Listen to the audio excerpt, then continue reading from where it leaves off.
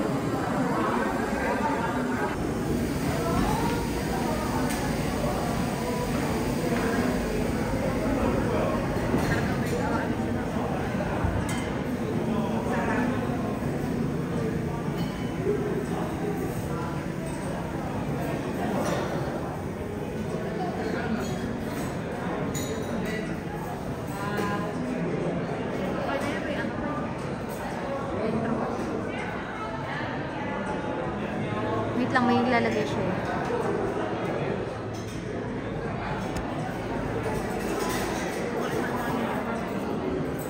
May nakasabay tayo naka nakaganyan.